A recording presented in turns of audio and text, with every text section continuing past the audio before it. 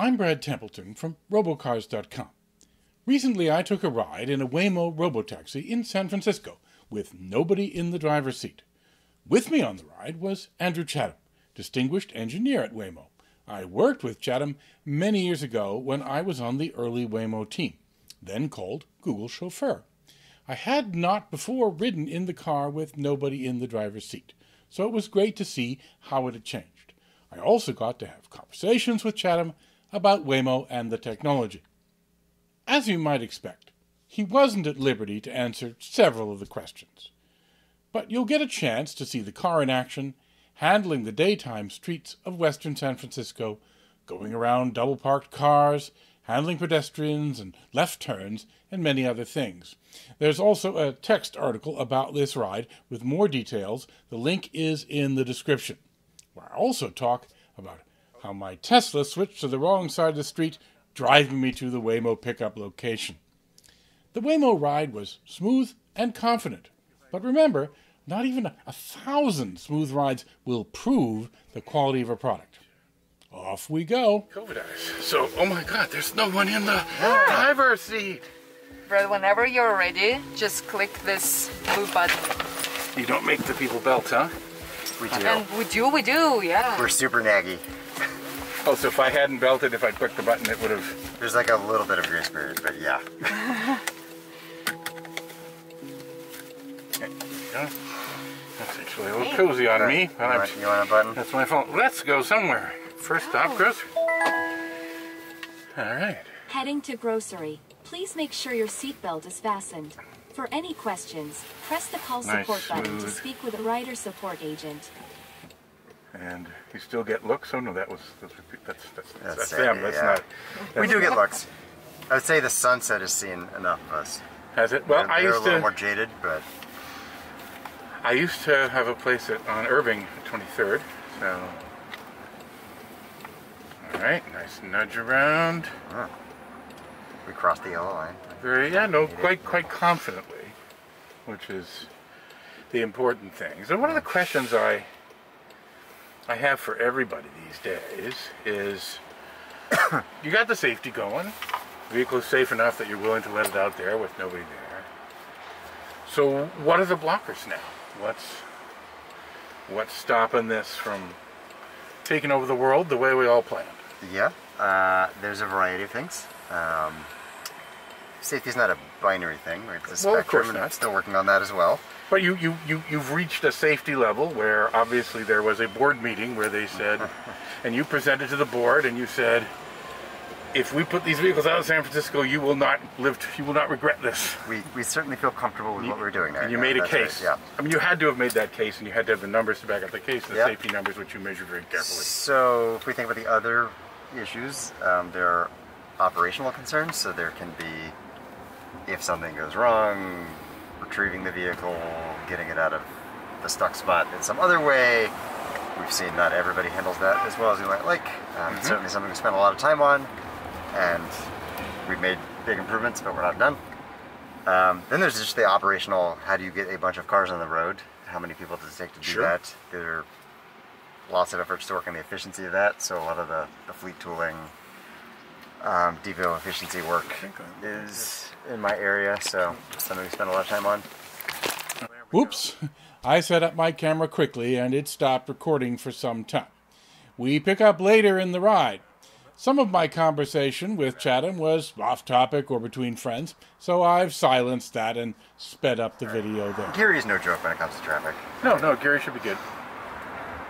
Especially if you got those. Okay, we got that. That was a little bit uh, tentative incursion into the lane and then back. But uh, so the planner now is presumably is it machine learning involved in, in planning more? Obviously, than it, well, obviously there was no machine learning in the early days. Uh, that obviously, yeah, in the very early days. Before, But- we started before the deep learning revolution, so there was zero at some point. Well, the first thing I think that went into that I remember of machine learning going in was, uh, I'm sorry, not in the planning, it was in prediction of other vehicles and predicting was someone going to change lanes since no one uses their turn signal. And I remember someone Planner, someone yeah. wrote a uh, wrote a, wrote a machine or a machine learning predictor for that. was one of the first things I remember hearing about. Yeah, certainly behavior prediction is machine learning first. Um, that might even predate deep learning. Um, Yeah, I think it did. Right, well, other it, ways to do literally predated in the sense that deep Yeah. learning dates from uh, from some time ago, but the, the, well, the, but like- new revolution yeah, yeah, learning. the big switch. Um, I am not sure exactly how we talk about the planner architecture at this point publicly. So, oh, okay. No, no, yeah, don't say the secrets. No, we have a Hopefully new that wasn't a secret that there was that. but you might know. What- no, what we do can confirm that we have a new planner and it's um, ML, powered by ML, Great. I believe. So yeah, that's. Knowing uh, what I can say is the important part. Yeah. So it is much more say that, ML yeah. based than in the past. Well, no, that, that would be shocking if it's not. Um, Uh, well, it was a tough nut to crack. right? and there it's are um, and there are straightforward. TPUs in this vehicle, right? Uh, there are accelerators of some kind in this vehicle. Yeah. I what- sure you said there were TPUs at some point, but uh, Okay. uh, but maybe not. Again, I'm not going to ask you to Sure. confirm something about that. Well, it's But just to go back to it, like it's definitely not straightforward to apply deep learning techniques to the motion planning problem, right? Like Right. it's much more straightforward for perception, where that's basically what ImageNet was doing from day one, right? Mm-hmm. Is this a bicycle? Yes, no. Like, Right, and that obviously everyone did that from the beginning. As you know, there are companies attempt to do entirely end-to-end Yep. designs, which is interesting and possibly powerful, and uh, but at the same time much harder to verify. In terms of, I guess how we do on the the term, pretty good. Okay, we'll have to nudge out a little bit here, but we have someone. So we're just actually we're pretty good about that.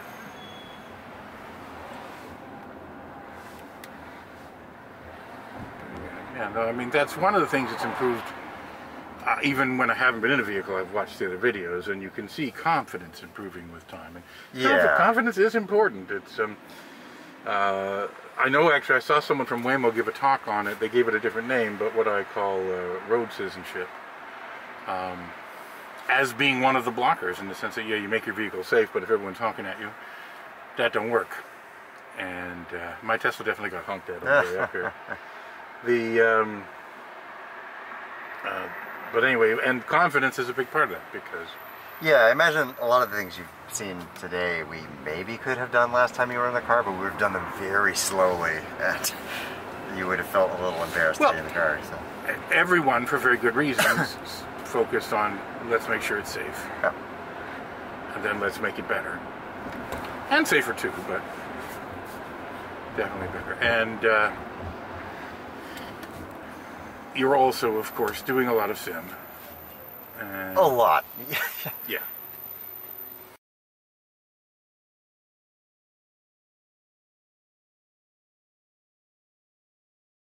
But most of the sim is uh, post perception, right?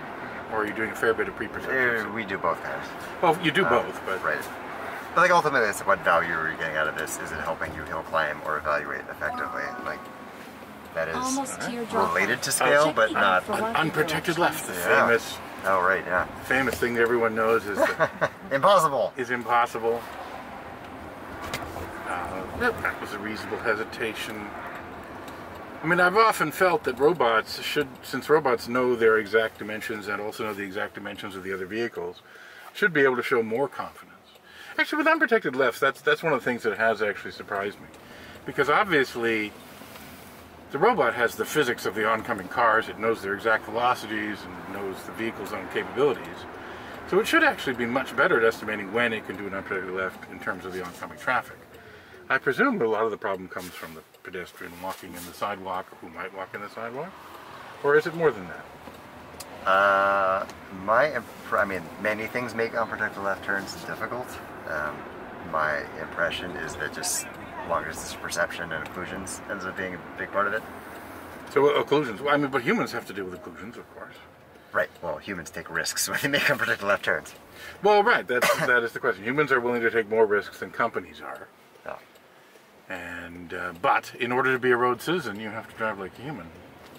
All right, well, now we're not in the highest traffic part of town, but that's okay. Oh, well, this is our destination. Yeah, this is our another pullover. We're at the University of San Francisco, Oh, okay. And then... And we're not, so we're not going to enter the space, but we'll, You're we'll here. sort of partly Please enter it. Please make sure it's we'll clear before I stop. Now we'll go and get some ice cream. Yeah, that sounds good.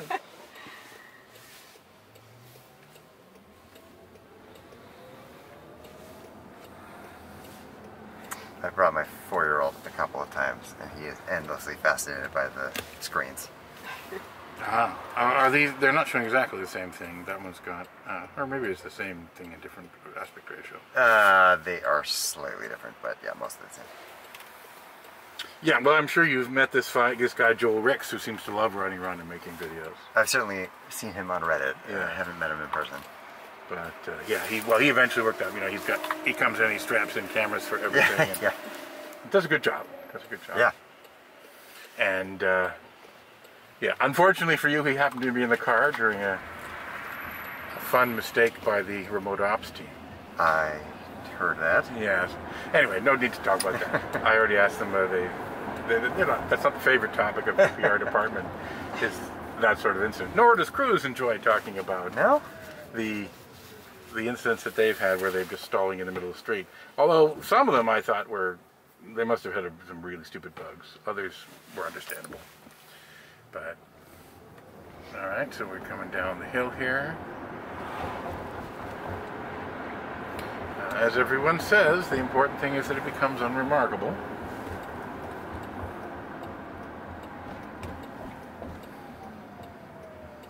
Oh, here we have to do the impossible again.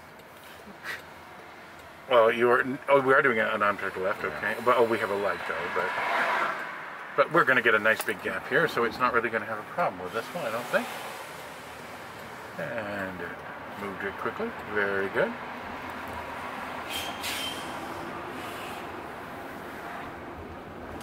I had a dog get really mad at the car. Oh yeah. He's very clearly barking at the driver's seat. Did not like what it was seeing.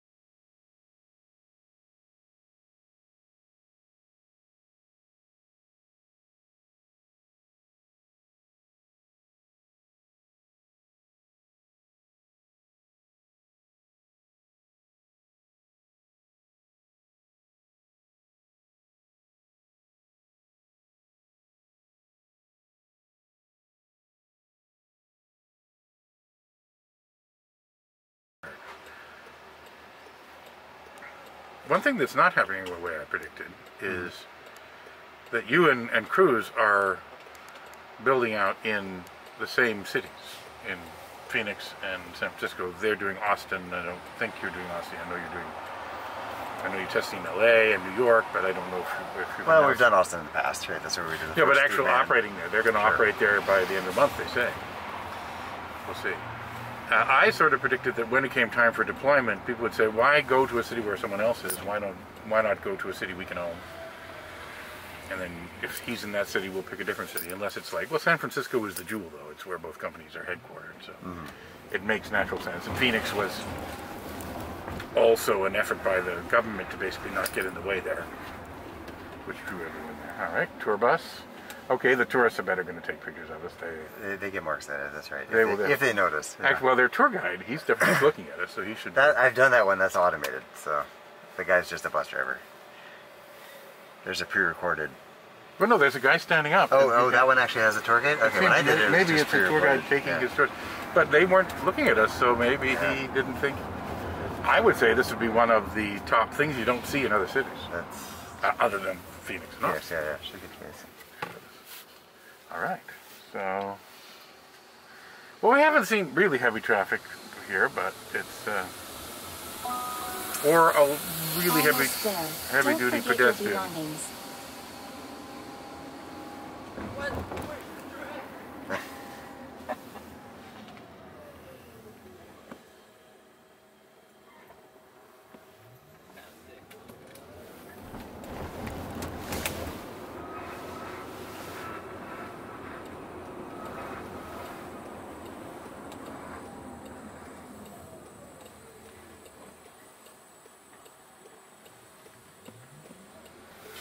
But yeah, I mean, it's to to rev this up is. Uh, I mean, to, we talk about Tesla a lot, but one, if they actually could pull off making their system work on their stock vehicle, that would give them a huge advantage in deployment. They'd have millions of vehicles already there.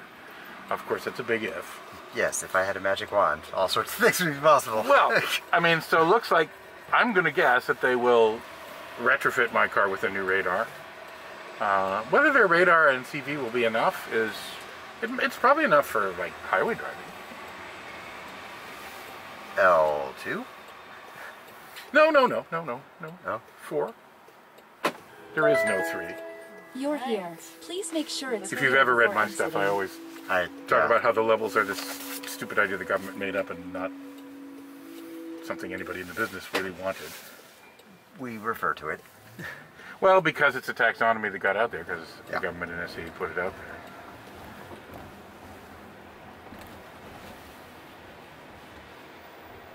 Uh, but a lot of the challenge with like actually doing L4, removing the driver from the front seat, feeling confident about that is redundancy, right? Like, Yep.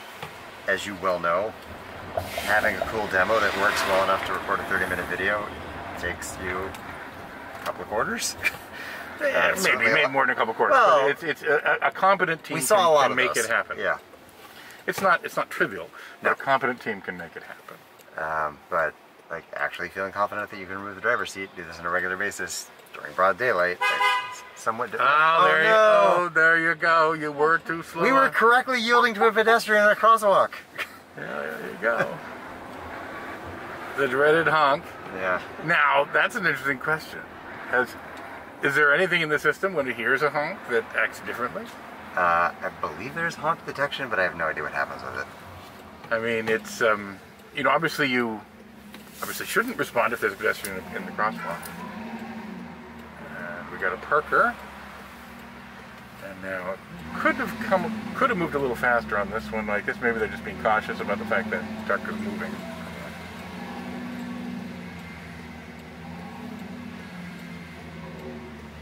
And we are making a. Uh, is this another? No, it's a four-way or a three-way.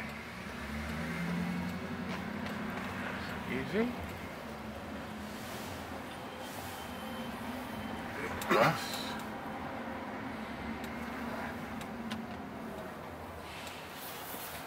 We're now getting back to the rituals clocking. Eh? Okay. We'll be there in about three minutes. All right, this Uber is going to present. Okay, which is oh, we can change uh, change Same comment and music. You want This to play, version. That is the cast. Music? Oh, we got around the Uber well enough. In fact, I was looking at the screen. You Yeah, distracted sorry, me. yeah. Cleverly distracted me. And uh, and then. Uh, now, are you not? You're not showing him in the visual, or, or that's Yeah, him in the got him, visualization here? Okay. You don't visualize him as more than a an icon. Yeah, it's the the. UI is optimized for human consumption. It's not necessarily exactly what we're reacting closely correlated.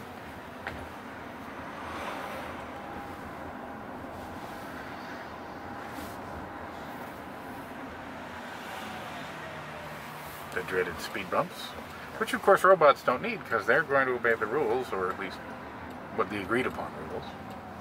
I'm not sure how much has gotten talked about, but like one one of the things we've added to the UI over the last year, I think, is better explanation of when we do things that might be surprising. Oh yeah, you put. A, I did see that on some vids. I think of it of it saying what's going on. Right. Because eventually you just start looking at your phone, and then your head pops up when Why? Why? it why slows down. You're like, oh, okay, I get it. Yeah. We saw a radar ghost. you wouldn't say that. Usually we saw a pedestrian, but Well, uh, them- there are going to be the there's going to be occasional false positives. Uh, did you catch them waving at the? I driver? saw them wave, yeah, the driver. I uh, no, what was I? What was I in the middle of, of talking about? Um, oh, I mean, Almost there. Don't forget your belongings.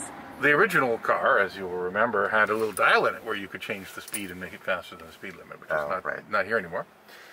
But uh, I do believe vehicles have to go faster than the speed limit in order to be good road citizens in a lot of situations. So I don't know if there's been any more discussion about how to solve that problem.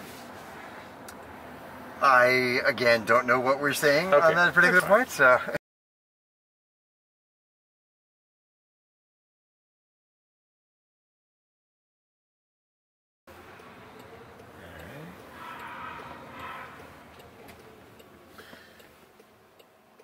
What are we doing? Oh, we're, we're doing it. This is a very oddly. Okay. That's not what a human would do. the sliding back into the lane was Yeah. yeah, more aggressive than probably human. I mean- I and I think everyone else I know happily drives over the lane markers if there's no one else around, if it makes a more comfortable drive. I guess I would ask if we were stuck with that behavior forever, would it bother you that much? Probably not. Yeah. Uh, I mean, it depends if it. Uh, again, if I'm staring at my phone, unnecessary turns are a negative. Yeah, that's true. Um, I want the. Uh,